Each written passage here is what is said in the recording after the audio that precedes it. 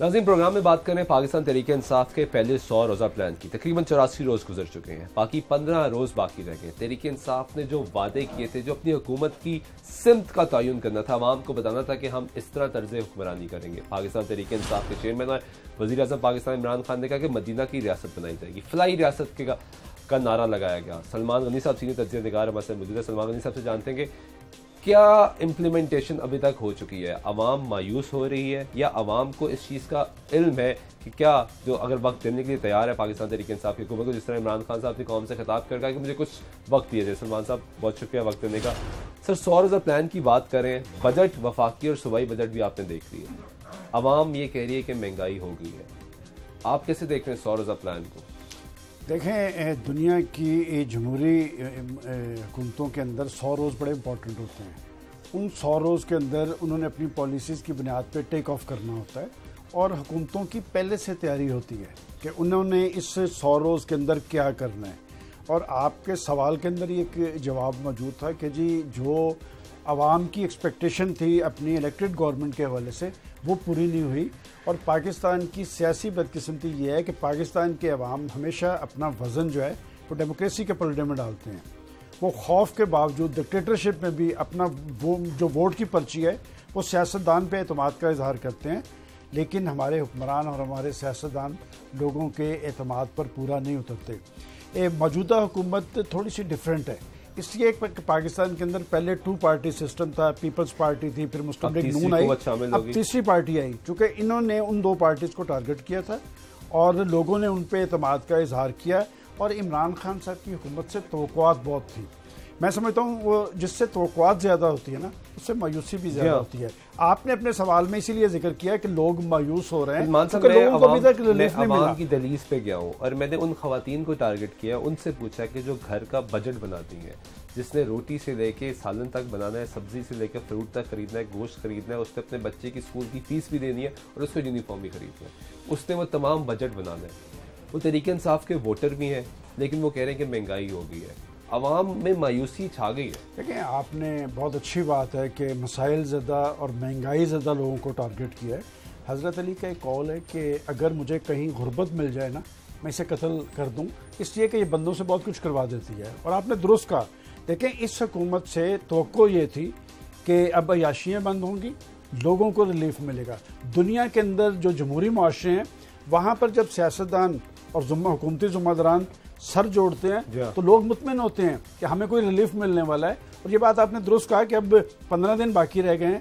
ابھی تک لوگوں کے لیے کوئی خیر کی خبر نہیں اور میرا خیال یہی وجہ ہے کہ حکمران جو ہیں وہ لوگوں کو کوئی ریلیف مہیا کرنے کے بجائے کرپشن کرپشن لوٹ مار دیکھیں کرپشن اور لوٹ مار کو ایشو بنانے کا کریڈٹ ہم عمران خان جی ہاں۔ صاحب کو دیتے ہیں۔ لیکن یہ بنیادی طور پہ عمران خان صاحب کی ذمہ داری نہیں ہے۔ اس کے لیے نیب کا ادارہ ہے اس کے لیے کورٹس موجود ہیں۔ اگر آپ کو آپ سمجھتے ہیں کہ جی ماضی کی حکومتوں نے کرپشن کی ہے تو اس کے لیے نیب کا ادارہ موجود ہے وہ کام کرے گا۔ آپ کو لوگوں نے مینڈیٹ کس بات کا دیا تھا؟ مینڈیٹ دیا تھا لوگوں کے لیے ریلیف آپ کو مینڈیٹ دیا تھا گورننس کی فراہمی کے لیے چونکہ گورننس کی فراہمی پاکستان کے اندر ایک خواب بنا ہوا ہے۔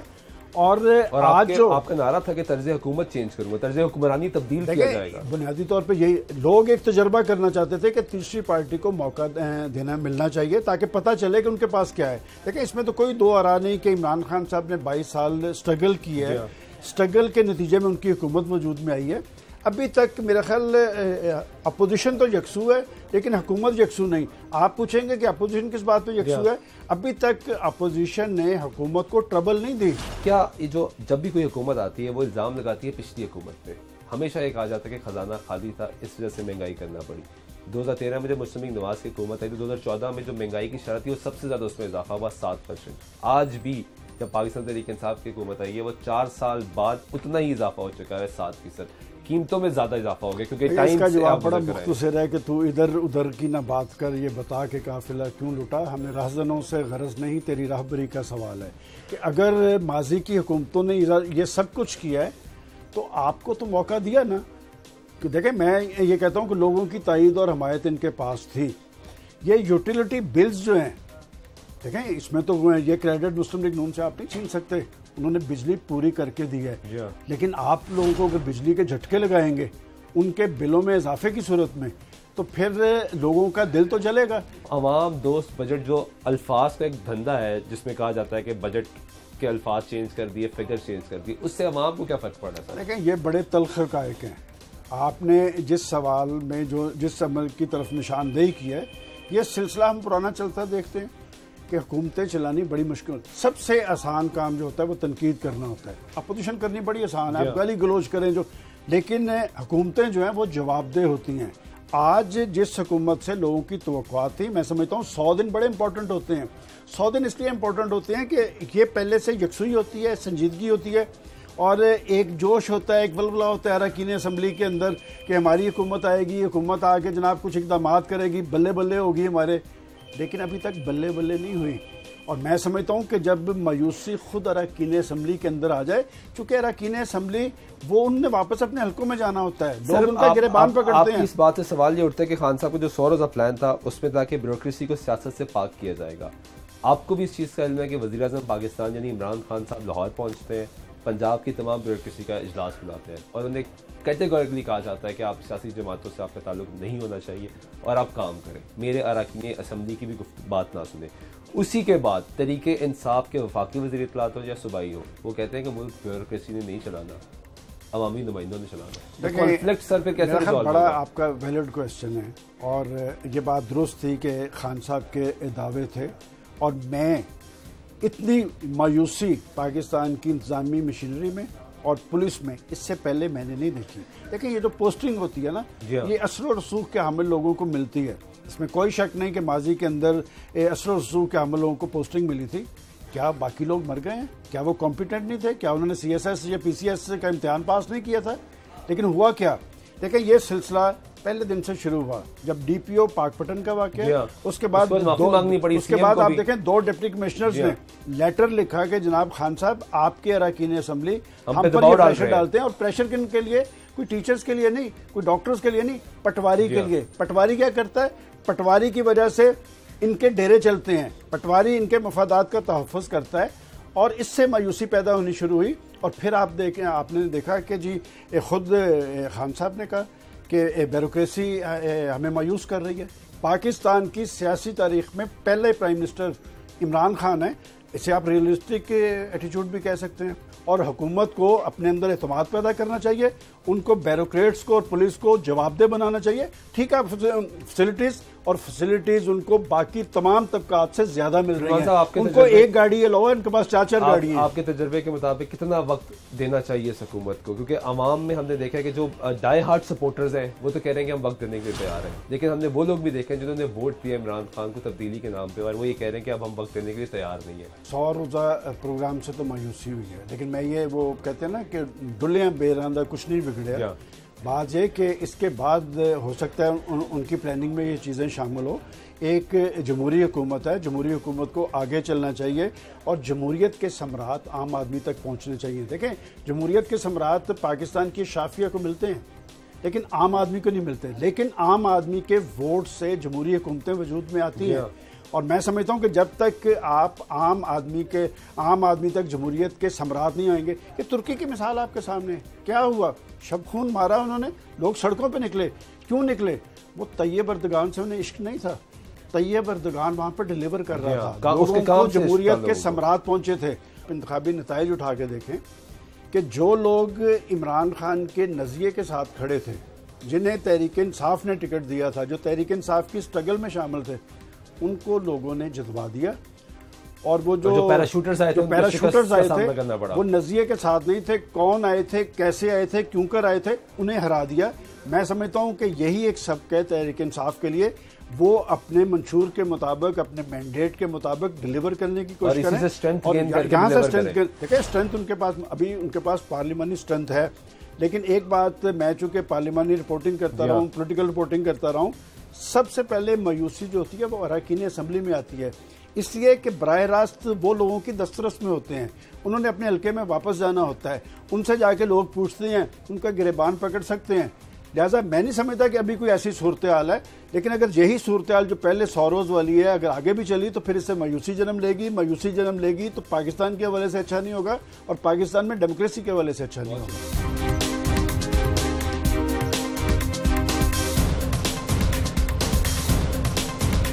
ناظرین پاکستان تحریک انصاف کی حکومت کو بنے چوراسی روز ہو چکے ہیں۔ پہلا سو روز کا پلان دیا عمران خان صاحب نے، انہوں نے کہا کہ میں حکومت کی سمت کا تعین کروں گا۔ اگر اس وقت مہنگائی کی شرح کی بات کریں تو سات فیصد اضافہ ہوا ہے۔ دو ہزار چودہ میں جب پاکستان مسلم لیگ نواز کی حکومت، دو ہزار تیرہ میں حکومت میں آئی، اس کے بعد دو ہزار چودہ کا جو ان کا بجٹ آیا، اس سے پہلے سات فیصد اضافہ ہوا تھا۔ چار سال بعد ایک مرتبہ پھر ہم نے دیکھا کہ مہنگائی کی شرح میں بہت زیادہ اضافہ ہو چکا ہے۔ افراد زر کی جو شرح ہے وہ فائیو پوائنٹ ایٹ پرسینٹ بڑھ چکی ہے، جس کی وجہ سے عوام کو یہ مہنگائی کا جو سامنا کرنا پڑ رہا ہے روٹی مہنگی ہو چکی ہے نان مہنگا ہو چکا ہوا ہے، دالیں مہنگی ہو چکی ہوئی ہیں، سبزیاں مہنگی ہو چکی ہوئی ہیں، ہر عام آدمی اس وقت پریشان نظر آ رہا ہے۔ ہم نے آپ کو پہلے پروگرام میں بھی آپ کو دکھایا کہ عوام مہنگائی سے کتنے زیادہ تنگ ہے۔ اب ہم عوام کی وہ رائے جاننا چاہ رہے ہیں کہ عمران خان صاحب جو ان کو کہہ رہے ہیں کہ مجھے تھوڑا وقت دے، میرے سو روزہ پلان مکمل ہونے والا ہے۔ کیونکہ عمران خان صاحب نے اور ان کی ٹیم نے جو پنجاب میں وزیر اللہ پنجاب عثمان بزار صاحب ہیں، انہوں نے بھی آ کے اپنی جو کارکردگی ہے اس کے بارے میں بریف کرنا ہے۔ خان صاحب نے اپنی پوری ٹیم کے ساتھ اس چیز کا اعلان کیا تھا کہ میں سو روز کے بعد اپنی کارکردگی عوام کے سامنے رکھوں گا۔ عمران خان نے اپنے وزراء کو، چاہے وہ پنجاب کے ہوں یا وہ وفاق کے ہوں، ان کو اس چیز کا بتایا تھا کہ اگر وہ تین ماہ میں اپنی کارکردگی نہیں دکھا سکیں گے یعنی سو روز میں اگر اپنی کارکردگی بہتر نہیں کر سکیں گے، تو اس کے بعد ان کو ان کے عہدے سے ہٹا دیا جائے گا۔ بیوروکریسی سے اس وقت طریقے انصاف بھی لڑ رہی ہے۔ لیکن ہمارا مسئلہ اس وقت یہ ہے کہ عام آدمی پریشان ہے، وہ کہہ رہے ہیں مجھے سو روز سے میرا شاید اس طرح لینا دینا نہیں ہے میں جان لیتا ہوں آپ سے۔ مہنگائی ہوئی ہے؟ بالکل ہوئی ہے۔ آپ عمران خان کے سو روزہ پلان کے بارے میں جانتی ہیں؟ خان صاحب کہتے ہیں مجھے تھوڑا وقت دیا جائے میں مہنگائی کم کر دوں گا۔ کوئی امید ہے آپ کو؟ لگ تو نہیں رہا۔ ہمیں نہیں لگ رہا کہ لگ بھی نہیں رہا کہ نہ ہو سکتا ہے ایسے کہ مہنگائی کم بالکل اچھا مجھے یہ بتائیں میڈم کہ خواتین گھر کا بجٹ بناتی ہیں۔ آپ نے وہ تمام چیزیں خریدنی ہوتی ہیں جو گھر کے لیے استعمال ہوتی ہیں یعنی روٹی سے لے کے سالن تک اور کھانے پینے سے لے کے بچوں کی اسکولوں کی فیس اور یونیفارم تک۔ اگر تمام چیزیں مہنگی ہو جاتی ہیں تو بجٹ بنانا کتنا مشکل ہو جاتا ہے آپ بہت زیادہ مشکل ہو جاتا ہے۔ وہ آپ پہلے سے پہلے سے بھی زیادہ جو ہے نا یہاں پہ آگ لگی ہوئی ہے مارکیٹ میں پہلے سے زیادہ ہر چیز ایکسپینسو ہوتی جا رہی ہے۔ اب غریب آدمی عام آدمی کیا کرے؟ آپ جو دہاڑی کمانے والے وہ تو کچھ نہیں کر سکتا نا۔ آپ خان صاحب کو وقت دینے کے لیے تیار ہیں؟ نہیں ہم ہم نہیں دینا چاہتے سوری مہنگائی ہوئی ہے؟ بہت زیادہ تبدیلی آئی ہے۔ تبدیلی آ گئی ہے؟ ہاں جی۔ مہنگائی سے آئی ہے مہنگائی نہ ہو کر آئی ہے؟ مہنگائی سے زیادہ آئی ہے۔ مہنگائی سے زیادہ یہ مایوس ہوئے ہیں؟ کس کو ووٹ دیا تھا؟ عمران کو۔ عمران خان کو۔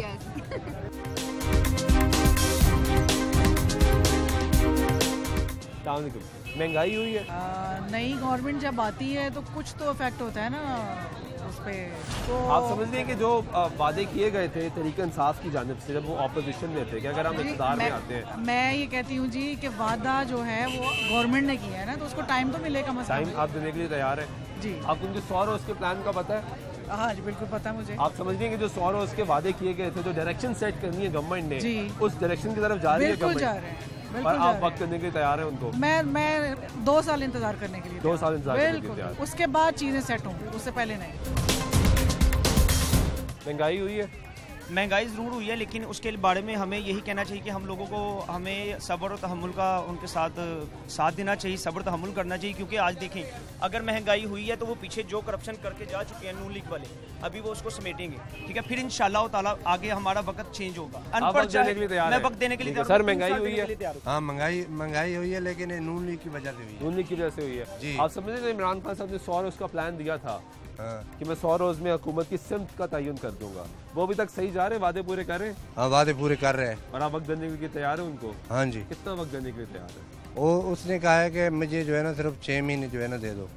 چھ مہینے کے بعد جو ہے نا ہو جائے گا۔ اور آپ اگر آپ سمجھتے ہیں کہ مہنگائی مزید ہوتی جائے گی ہاں۔ تو آپ پھر بھی ساتھ دیں گے؟ ہاں ہم ساتھ دیں گے۔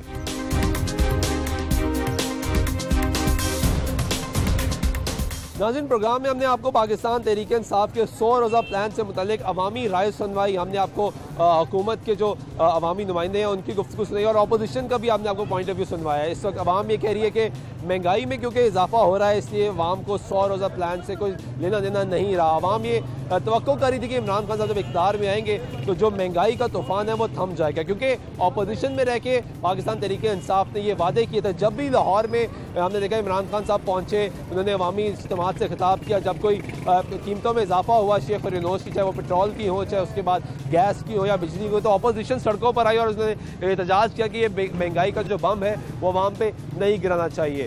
رائے ہم نے آپ کو سنوائی ہے۔ فی الحال پروگرام تو سلطان شاہ کو زیادہ دیجیے گا۔ اللہ نے کے بعد